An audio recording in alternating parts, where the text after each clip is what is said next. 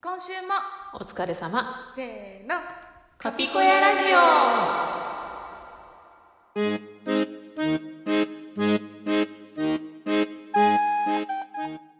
どうもカピです。小焼です。はいこんばんは、はい。はいこんばんは。本日は11月の何日ですか？今日ってもう。10ごめんなさい。14ちょっと 14火曜日。時々訪れる。何日かわからない現象。そう違うんですよ。あの子供が、あのインフルエンザになってそうなんですよはいはいはい弁会中。であの、はい。お休みしてたんでで今日までお休みで明日からうん。あ登園そうかってかそうかことで、うんはい、うん。うんでなんかちょっと休日みたいな日をすごいこうあ長く過ごしててなるほどね。ちょっと日にうんうんそれち感覚はしょうがないわ。がでしょ、うん。ありがと。う普通に明日から私もバイト入ってるからそろそろ戻さないといけないんですけどね。そうですね。はい、あの、はい。お疲れ様です。あありがとうございます。はい、はいルッキーです、はいはい。そうかからなかったよ私インフルエンザ。子供だったのに。すごくないですか？すごい。すごいよ。絶対私映ると思ったもん。私も思った。やっぱり 弱い。でなんか子供がその熱出してきました、でインフルエンザのうん。A 型ってことが分かりましたってなった時点で、もう絶対私もなるじゃんと思って、しかも結構嘔吐が多かったんですよ。吐き戻しちゃうのが。あそっかそっか。うんうんそうそうそう。うんで全部その処理とかもするじゃないですか、あであ映りそうだよね。うんあもう100%なるわって顔の前で咳されたりもしたし、うん。うんうんうんこのこの私がインフルエンザに勝つわけがないと思って。自分のねうん。そう弱さを自覚してるんで、うん。あの絶対無理だわと思って、で、うん。もう熱が出る前にやること全部やらなきゃみたいなインフルエンザしんどいものっていうのも分かってるから、うんうんうん。もう家事とかか買い物とかももう全部もうできるうちにみたいな感じで全然調子悪くならなくて。うんうんうん。そうなんですよ。なんかちょっと自信が持てました。あよかったこの一件でね。はい、うん。もうこのまま私の免疫力落ち続けるのかなって最近ちょっと不安になってたんですけど、うんうんインフルに勝ったらもう良くないですか、うん。うんって思いませんか？うんそう思います思います。ですよね。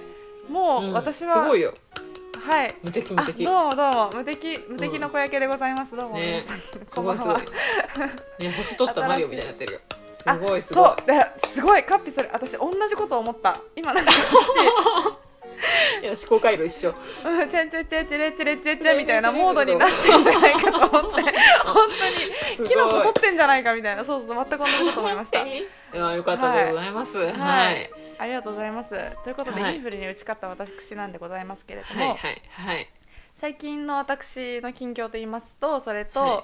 あとあの、ねくどいようですが「進撃の巨人」がついに終わりました。毎週言ってる。本当に本当に終わりましたこれはもう、あそうですね。はい。終わってしまいまはい、したね。終わってから話すのは初なんでね終わりましたよ。あはいはいはいはい。はい。でもちろんリアルタイムであの見まして、さすが。はい。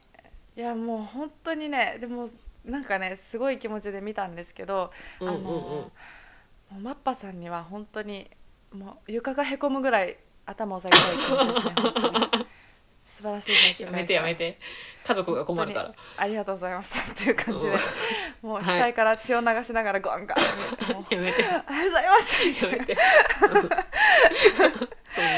んな血を流してまで。うん。素晴らしかったです。そしてあの、あの最終回ですね。あの、はいはい。別マガであっはいたはい。原作の最終回から、えっとはいはい。単行本になってそしてアニメになったんですけどあのはいはいはいはい。毎回ちょっとずつ過失修正があるんですよ伊佐山先生の。うんうんうん。毎回あったんですよ。だから同じ最終回がないというかだからその月刊連載の時の最終回と単行本の最終回と、アニメの最終回と全部ちょっとずつへー。か過失修正があって変わってあるところがそうなんだ。うんうん。そうなんですよ。はい。でまあいろんな意見もあると思うんですけどやっぱりね、はいはいはい。これだけあの注目を浴びてる作品なんでさん。いろんなところで賛否両論といいますか、はいはいはいはい。あると思うんですけどもう、うんうん。あの私レベルの伊佐山信者になればもう、うん。どどのパターンが来てももう最高って感じですね。はい、うーんなるほどね。そうかはい。信者だからなはい、信者なんでもう何されちゃってもあそうきましたか今度は。素晴らしい。みたいな。よかったあそうよかっなったわけですね。素晴らしい。みたいな感じで、たうんうんうん。はい最高でした。まあなんか、何してもねあのまあ、うん。簡単に言うと、そのうん。あの、なんていうんですかね。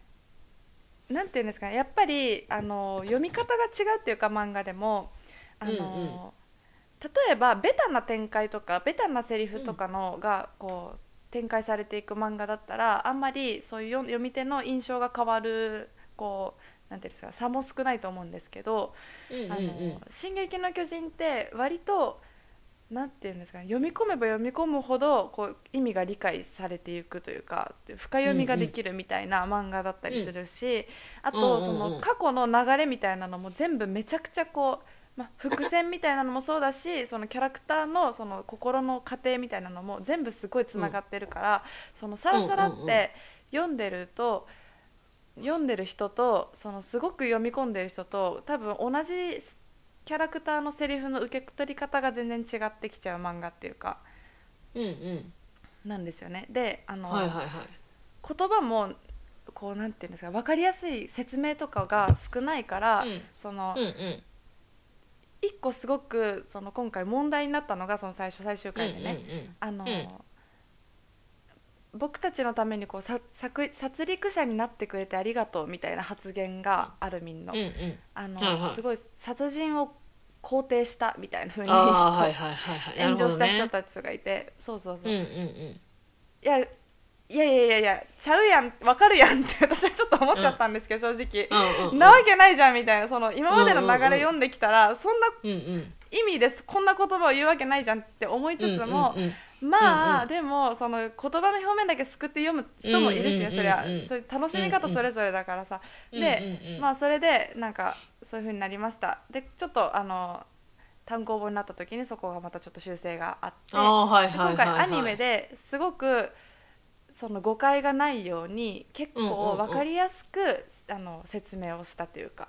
はあはあはキャラクターの言葉の真意がどの人が見てもちゃんとこう伝わりやすくなるように編集されてたところとかがあったりして、うんうんうんうんそうなんですよ。でもあのそれはそれですごい良かったんですよ。はい 私的には。その私は原作のあのさっぱりした感じっていうかさっぱりというかその伊佐山語録というか伊佐山先生らしい言葉選びの仕方がすごいたまらないし、その表情とかもすごい読み込んでいくタイプだから、あのああいうのすごい好きなんですけど、アニメはアニメで、まあ、より明確にね理解できたところもあったしその言葉が加わったことで、うんうんうんうんなんかアニメの方が漫画よりもよりさらっと見る人が多い気がするんですよ私あはあは。いはいはい。確かに。な流して見れるじゃんアニメって、うんうんうん。漫画は自分で読まなきゃいけないし、うん。うんうん。あのペペースとかもね。そうそうそう、うん。だからやっぱアニメにはあれぐらいやった方が良かったような気もしたりとか。ああなるほどね。そうなんですよ。そういう意味であのこうそれぞれうまみがある感じになったと言いますか、はい。ああはいはいはいはいなるほどすごいね 自分がオタク口調になっていく感じが今すごい分かって自分で気づいちゃった。自分で気づいちゃった。いやはい。ーなるほどね。さすまあがです。何が言いたかってそそれぞれすごい良かったってことなんですうんけど、うんで アニメの その作画もすごい良かったしその,、うんうんあのアニすごいアクションのシーンとかの迫力とかもうんうんうん。すっごいもう本気で来たなマッパさんっていうのがやっぱりすごい伝わあってきて。もうやっぱ本気がねあの一番嬉しいことですからそれは、うんうんうん。そうですあねのはい。制作会社の本気っていうのが伝わってくるっていうのはね、はいはい。あはいここちょっと手抜いたらやっぱりちょっと悲しいですよねそこはね。うーん。ああそうね。はいはいはい。ぶつけてくれたぜってなるのが やっぱりちょっとファンとしてはねありがとうございますって感じでね。なるほどね。はい、というのもありつつでもここは原作の伊佐山先生の絵の方がこういい表情だったなっていうのもいくつかあったりとかして。おおはいはい。キあーなャラクターの表情がねあここ原作の方がいいとか、ここあの、うんうんうん。その表現の仕方もあここ原作の方が良かったなっていうあのもあったりとかして。はいはいはいはいはいそれはそれでまた誇らしいことじゃないですか。やっぱ伊佐山ファンとしては。うん。はい、はい、よかったです もうちゃんとどっちも最終回を迎えることができて、安心した、しました。私は何よりもね。ね。ちゃんとそれを見ることができて。ただ、うんうんうん。なんかいまだにその最終回と向き合うことがちょっともう心にぽっかり穴が開いてしまうというか、はいはいはい。私まだいまだうん。うんにアニメの方見返せてなくてちょっと確認したいところいっぱいあるんですけど、あーはいだからまだ1回しか見てないのにこんだけ語ってる自分もどうかと思うんで。すけどホクホクはい。止まらないね。うんうんでまだちょっと見れないんですよねあんまり、はいはいはいなんかはい最終回を見るってことは最終回を迎えたっていう現実と向き合うことになるんですよ。知ってました？はいはいはい。気づいてましたこれ。そうそうですね。私そんなは風に考えたことないよ。私気づいちゃったんですよその、この間あ最終回を見た時に初めて、はいはい。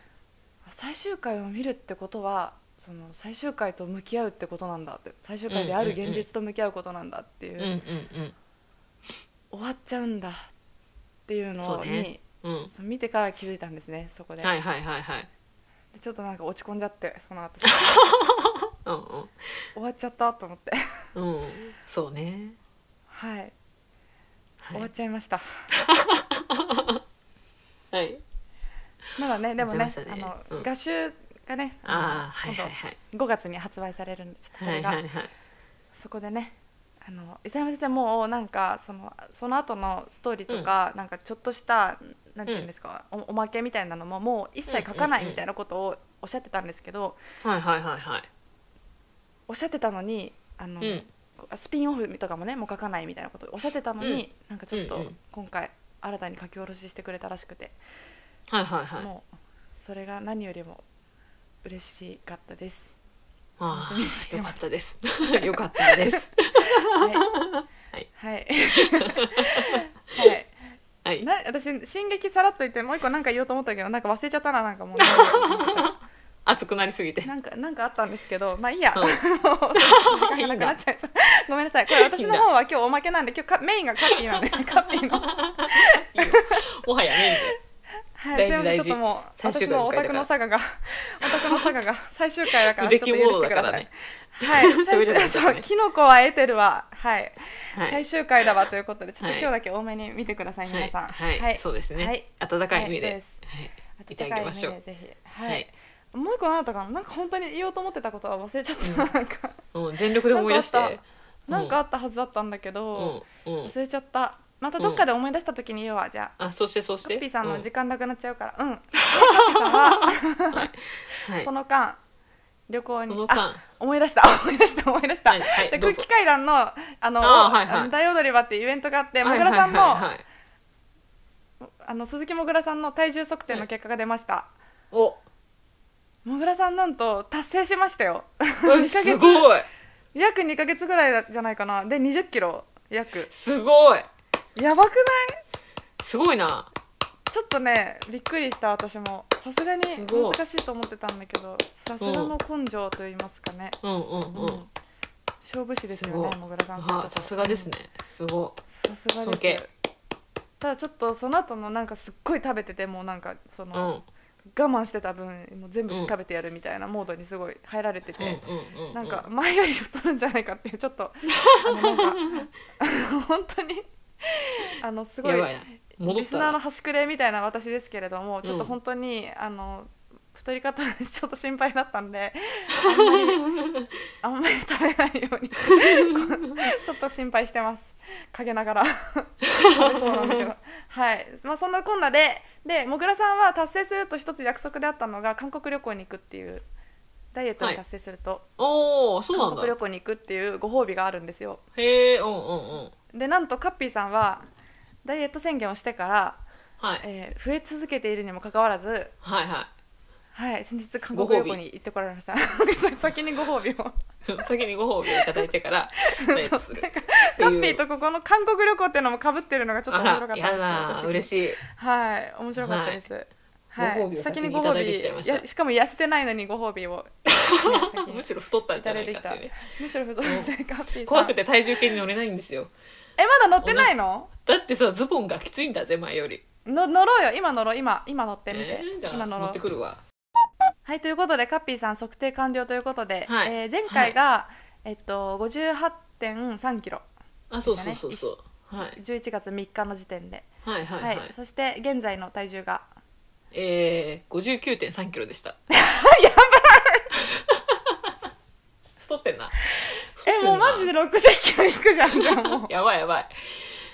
どうしよういや本当にさやばい。仕事のズボンがきつくて韓国から帰ってきたら、もうしゃがめなくてさ、うんうんうん。えやばい。ちょっと待って。えちょっと待って。ちょっと待ってちょっと待って。6月で何キロ何キロだったんだったっけ？6え月6月？の引っ越し前は。6月の時うん。52キロとかだよ、やばいよね。ちょっと 待って。この速度はやばい。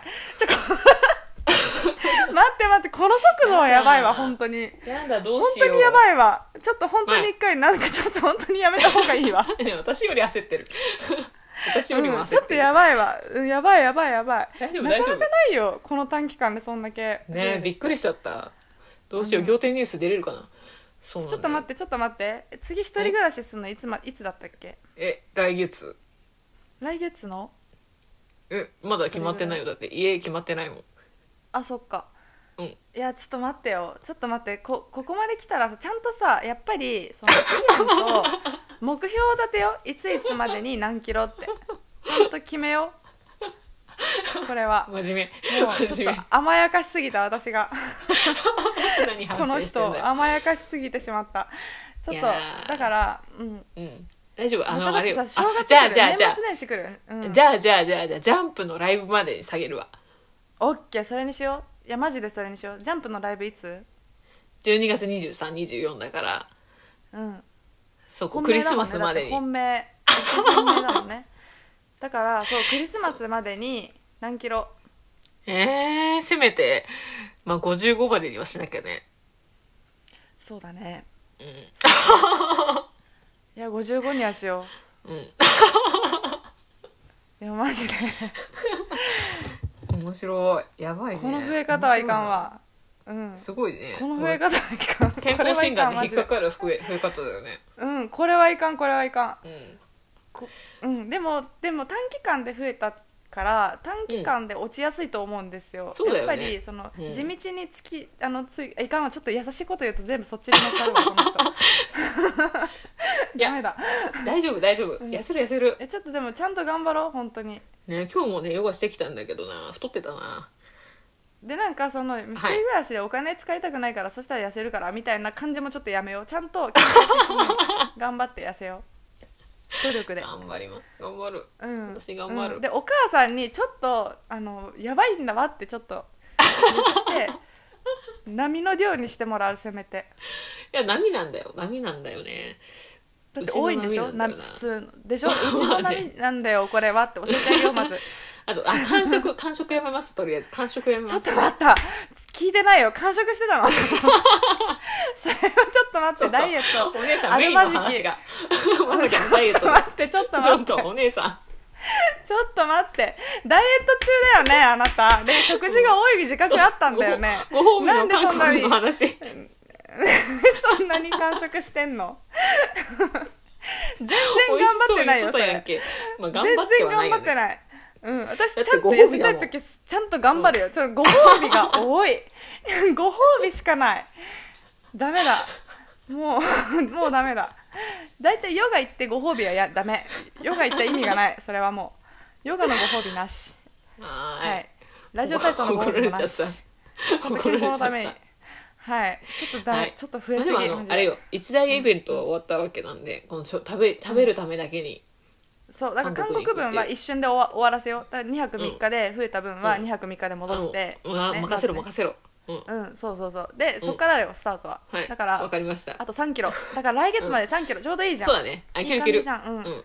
頑張る。絶対落とそうこれは。ううん。真似に聞くからねこれ。はい。私 頑張ちゃんと聞くからこれ、はい。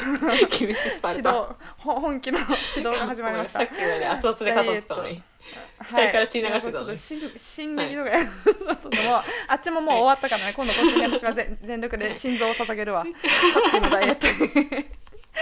捧げんでねえぞそんな。これはいかんマジで。はい頑張ってください。あとはい。モグラガ村長さんも頑張ってらっしゃるんですかね？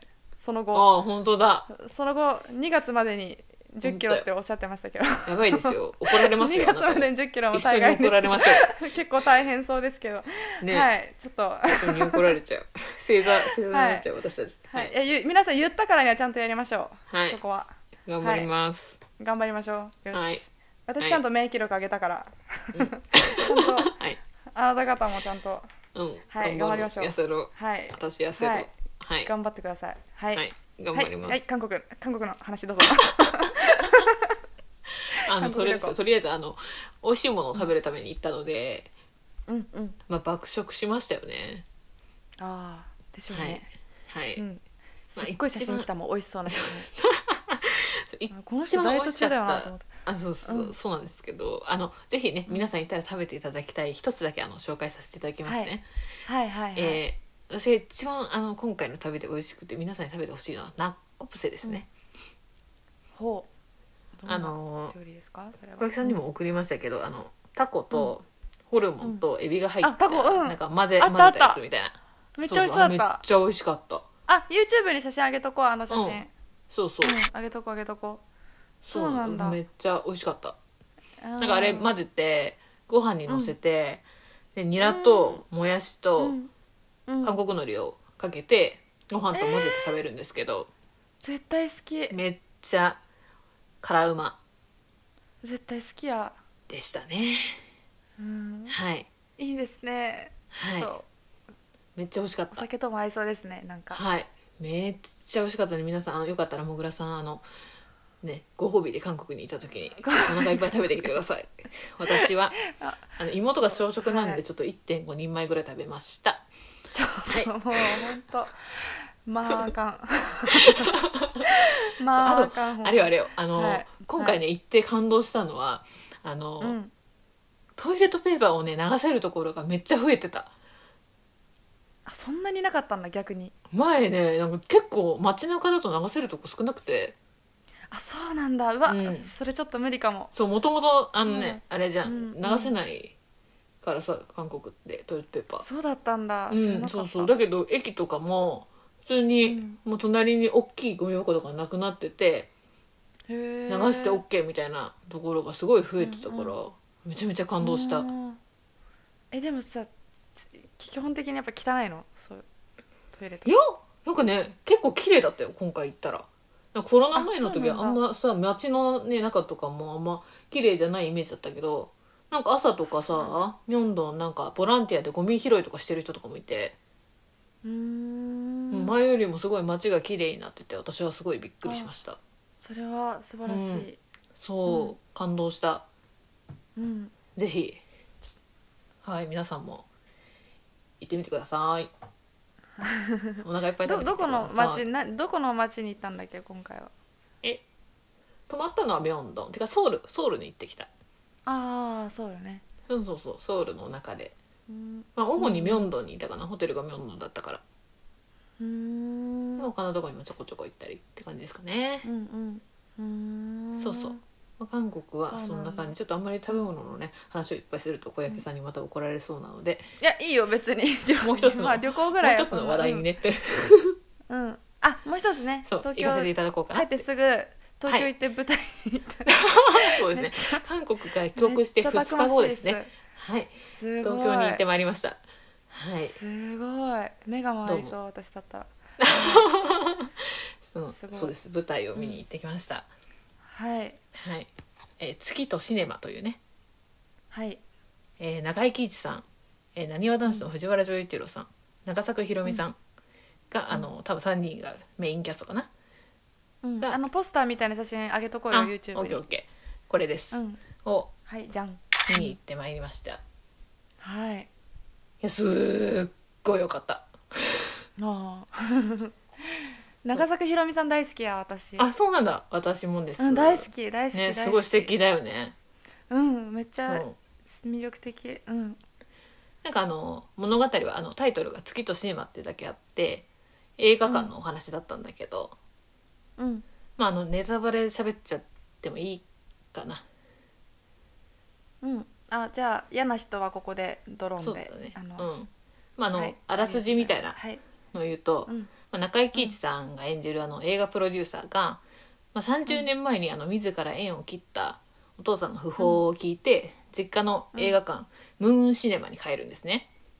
ほでその父が館長だった映画館がもうなんか閉鎖の危機みたいになっててでそこがすごい街に愛された映画館ででその、うん。守るべく市役所の人が町おこしも兼ねてこうムーンシネマを舞台にした映画を撮影しないかうん。みたいなのを提案して、でうん。その映画の台本こう読んでいくと、こう自分の父の物語が書かれててこう知らなかったこう父の姿を知っていくみたいな話なんだけど。うーん。すごい笑えるところもあってこう泣けるところもあるみたいな。うんうん作品でしたね。感じだね。うん。うん。はい、でまああのすごい良かったと思った点をこう2点まとめました、お。はい。ちゃんと。あ一つ。はい。役者さんの演技、まああのまあでしょうね。って思っちゃったけどね、今メンそうバーから。役所広司さん。もうマジマジすごいと思って、うん。初めて見たんだけどすごそうく素敵でもちろん長作ひろみさんも他の役者さんたちももう本当にすごい有名な方がたくさん出てて、うん。もうすごい皆さんお芝居がすごくて感動しました私。あ。はい。すごはい。い良、かったです。であのねはい。なにわ男子の藤原くんもすごい頑張ってらしてその中で。ああはい。はい。はいはい。すごいねもうそうそうたる人の中でけ藤原君ってあそうそうそうそうそうそう野球好ききな。野野球が好きな一番年いってる子だよね。あそうそうそうそうそう。最年長の子。そうだよね。うん。うんうんうんもうすごい頑張ってました、へー。はい。偉い。はい。偉い。あでもう一個は、まあ、演出ですね、なんかあの、時間が2時間ちょっとだったんだけど、もうお話の量的にはもう3時間見たぐらいの満足感。おおでなんかなんでこんなサクサク見れたんだろうって思ったらなんか舞台の転換の時間がすごい少なかったんだよね多分へえなるほどなるほど。変な間が少なかったんだじゃあ。そうそう。だからこう、あうんうん。最近さこう立て込みっていうかこのセットをこうドーンって立てずに、こう何もない舞台にこうセットをこう袖から入れて、でそのシーンが終わったらまた入れ替えるみたいなのが結構多いんだけど、ううんうんはいはいはいだからそれでもなくてまたなんか私初めて見たパターンだったんだけどもうなんかもう立て込みこのセットがドーンって立ってるんだけどうん。こうなんかそのムーンシの映画のお話だからなのかこうなんかうん。上下あのひ左右と上から黒いパネルがバーって出てきて、この見えてる部分をこう画面だとしたらこう画面をこう区切ってお話を進めていくところがあって、なるほど。それで見えてない部で分で転換してでこうバーってこう役者さんが歩いていく方でこう開いていってで次の場面ができててそこでお話が進むとかいうのがあったりあとあの暗転暗くなってこうスタッフさんがこう転換するっていうよりもなんか最近役者さんがこう転換するっていう舞台が増えてるんだよね。うん。もう明るいままで転換したりとか。うんうんもう暗いところでこう役者さんが出てきて、次のシーンの。でこう転換して、でもう終わるっていうところで舞台が明るくなって次のシーンが始まるみたいな。うんのが最近結構増えてる気がするんだけど、うん。うんで今回もそれ？うん。そういうやり方で。うん。だからそんな、ね、時間もかからなかったうん。のもあるのかなっていうのとうん。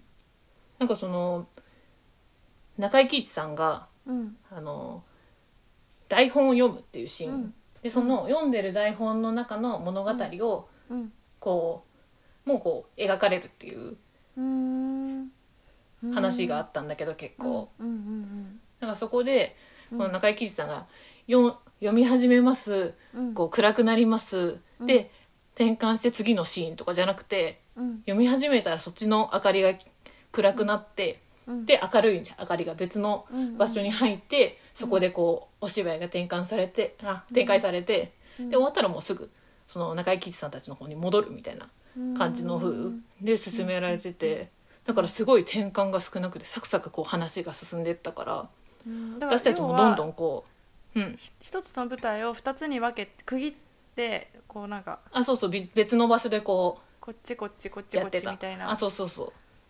やって進めてったとか。はいはいはい。だからすごいなんか私たちもずっとこう気持ちをこううん。入ったままこう見れて、うん。うん。すごいなんだろうサクサク展開も進むからうん。変な間がないのねそうそう間がなくすごいよかった時間も短かったからすごい見やすい舞台だった。うんなるほど。かな？うん素晴らしい。なんかって思いました。いろんな舞台を見てるカッピーだからこそのその着眼点が、あのああ。んまり舞台見に行かない私からするとすごいなるほどって感じで面あ白いです。本当？触りました？大丈夫かな、うん、伝わる。伝わるなんか舞台ならではだね本当その、うんお客さんをいかに退屈させないかっていうのはやっぱりその転換点の一つの課題だと思うんだけど、すごいシネマのお話をやりつつ舞台もちゃんと最大限に生かすみたいな。あ、そうです。さすがですね。そうそういうそういうことです、うんうん、そういうことですよ、うん。そうそうすごい。いすごい。やっぱりそうそうたる役者さんたちを使ってるだけのや本当に。ね舞台そう。D G2 さんっていう方が演出だったんだけど、うん。私初めて G2 さんの演出のお芝居見たんだけど、すごい、うん。すごいいいなーって他の作品も見たいなってうんうんうん思いましたね、うんうんうんうん。はいはい。なんかストーリー的にもあの、うん。その舞台の使い方の魅力的にも、うん。なんか私今までカッピーの見てきたうんやつの中で一番ちょっと見たいなって思った、あ本当？ありがとう正ございます。直。ありがとうございます、なんかそう。よ,、うん良さそう。良さそうそうですごい良かった、うん。そうそうそうそう。すごいハートフルハートフルコメディまあそうだよね。やっぱそんな感じがするそうそう。すごい良かった。もうみんな最後ねお客さん結構泣いてる人もいて。あそうなんだ。なんかそういうの見たいな、なんかそういうなんかなんていうの？あの結構現実的な話とか好きで私。ああはいはいはいはい。SF 要素があるよりはあそういう進撃の巨人あんだけ熱く語ってるのにほんまやで。めちゃめちゃ非現実的や。どの口が？ある日突然巨人が街を破壊していく話を 全然。めちゃめちゃ SF じゃん。でもそういう現実的なの好きですよ、うん。はい。ながら言ってるはい。なるほどね。あじゃあすごい良かったですね。わざわざ東京までハードスケジュールの中行って。そう。うんまだねあの28日まで東京パルコ劇場が上演しておりまして、ほで12月3日からう10日までも、うん。森の宮ピルティホール大阪ですね。こちらでもあのやっておりまして。なんか当日券も販売があるみたいなので、えー、東京と大阪だけかな。あと東京大阪だけなんだよねこれ。ああそっかそっか。うん。じゃあそうそう。行ける方ぜひ。そうよろしければ。はい、っはい。ていう感じですかね。良さそうなよい。なんで。よ良い。い。すっごいよかった。終わった後すっごい良かったって LINE 来たもんね。そう。めっちゃ良かったんだなと思って。うんすっごいよかったのだそうです。うん。だそうです。ははい。いわ、っていうかりました。はい、ありがとうございます、はいすごありがとうございちゃんと一生懸命まとめてくださってカッピーさんありがとう。ありがとうございます。珍しく。すごい。わかりやすかったです、本当に。ありがとうございます。はい。はいそうそんなねそういうできる女なんですよ。やればできる女なんで。やる気さえ出せばすごい仕事できるんですけどね。ちょっとまだダイエットの方はやる気が出てなかったみたいでここからちょっとモーションかけてもらって、ねちょっとスイッチを、はい。やる気スイッチ入れますね、はい。そろそろ。ここからちょっと頑張ってもらいましょうね。そっちもね、はい。頑張ります、平成ジャンプのために頑張れ。頑張ります。中島中島中島くんじゃないやえーっと八乙女くんだな。どっからな？んかここ間違えて。八乙女くんが待ってるぞ。はいクリスマスに。頑張ってください、頑張ります、はい。その前に、はい。シャイニーとセブチはいつだった？今月だよね。今月そすご。ういただきます。すごいわ。もう散財。散財に散財。散財ですよ。占い師に貯金しろって言われてるのに 全然貯金する気配も。いいじゃないもういつ死ぬかわかんないんだからもう使っとこう。はい。っていうね。もうはい。はい。酔い越し私のポのリシー。金持たねえですね。カッピーさんのて精神は。うんはい、はい。そうですね。はい。クロマニオンストンプという曲を聴いてください。あかしこまりました。はい。はい。では、はい。そういうことで。はい。はい。エンディングに入らせていただきたいと思います。は、はい。い。エンディングです。はい。えーこの番組ではお便りを随時大募集しております、えーはい。各コーナーで、えー、ふつおたどんなことでも大大歓迎です。あのすごはいい気軽に送ってくださればあとはい。思いますので、はい。はい。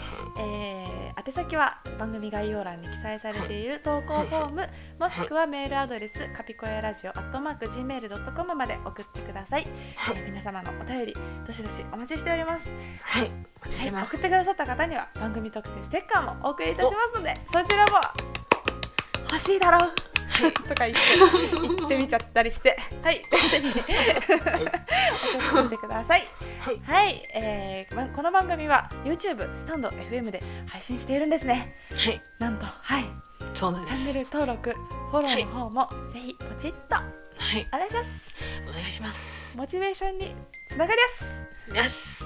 はい。はい。はい。じゃあね今週こそマジで長くなっちゃったんですけど皆さん最後までお聞きいただきまして。かダイエットこんなに長くなると思わなかったよ、い。やちょっとこれはちょっとこれは軽く流せんかったなあれはちょっと。くそくそ あんたと思って。はい。失礼しました。頑張ります。はい。頑張ってもらいますここから。はい。ということで、えーまた来週お会いしましょう、おやすみなさはい。おやすみなさい